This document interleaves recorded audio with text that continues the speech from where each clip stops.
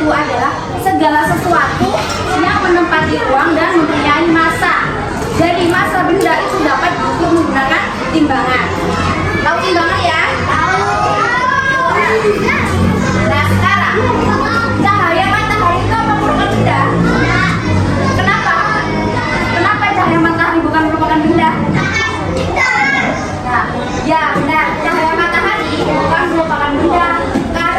dia tidak menempati uang dan tidak mempunyai mak. Sesuai pembuktian benda tadi ya. Nah, benda itu ada macam-macam sifat fisiknya. Yang pertama,